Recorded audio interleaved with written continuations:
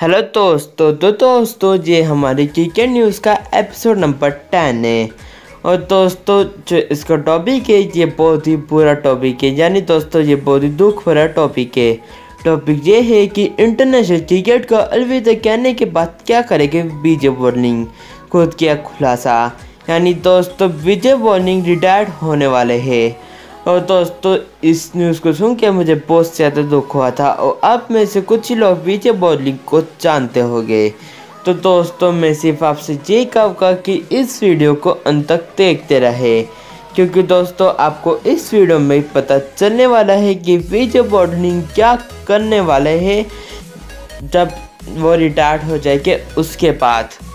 New Zealand के wicket keeper बल्लेबाज विजय बॉटलिंग ने इंटरनेशनल क्रिकेट को अलविदा कहने का मन बना लिया है।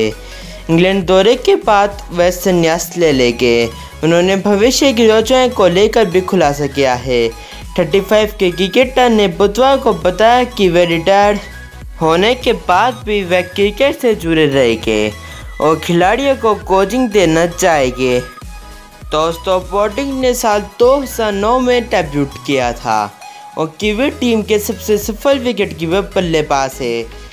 ऐसे में चेन्नई कताव के लिए विकल्प ढूंढना काफ़ी मुश्किल होगा। इंग्लैंड से लौटने पर वह परिवार के साथ एक ब्रेक की योजना बना रहे हैं। लेकिन उन्होंने बताया है कि कोचिंग उनका लॉन्ग टर्म प्लान है। उन्होंने न्यूजीलैंड मीडिया को इसकी जानकारी दी। विकेट के पीछे न्यूजीलैंड के लिए रिकॉर्ड 257 शिकार किए हैं, जिसमें आठ स्टेपिंग भी शामिल है।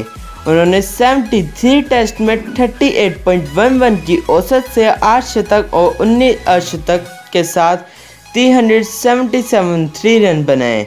2019 में माउंट मोकाउ में इंग्लैंड के खिलाफ 205 रन, उनका उच्चतम स्कोर था, यानी बेस्ट स्कोर। उन्होंने इस बात से इनकार किया कि लंबे करियर से उनके शरीर पर असर पड़ा है। उन्होंने कहा कि क्रिकेट से संन्यास लेने का उनका फैसला अपने युवा परिवार के साथ अधिक समय बिताने के लिए लिया है। दोस्तों, न्यूजीलैंड की टीम दो जून से इंग्लैंड के खिलाफ दो टेस्ट मैच की सीरीज़ खेलेगी।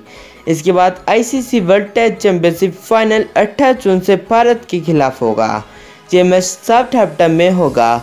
इंग्लैंड के खिलाफ टेस्ट और भारत के खिलाफ डब्ल्यू फाइनल के बारे में बात करते हुए वॉडलिंग ने कहा, हालाँकि मुझे इंग्लैंड के दौरे से पहले घोषणा की, लेकिन मेरा ध्यान आगे के दिन टेस्ट और उसमें शानदार प्रदर्शन करने के लिए तैयारी पर है।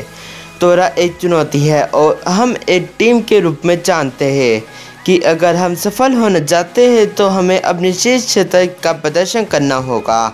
तो दोस्तों, आज की वीडियो में बस इतना ही। उम्मीद करता हूँ कि आपको वीडियो पसंद आई होगी। दोस्तों, आप क्या वॉटलिंग के इस बयान से खुश हो या नहीं हो, हमें कमेंट करके ज़रूर बताइएगा। हमें यह भी कमेंट करके ज़रूर बताइएगा कि क्या आप वॉटलिंग को जानते थे? और ये भी कमेंट करके सब बताना कि क्या आपको बॉडलिंग पसंद है या नहीं, अगर आप जानते हो तो। तो दोस्तों, आज की वीडियो में बस इतना ही। मैं इस वीडियो को अब यही समाप्त करता हूँ।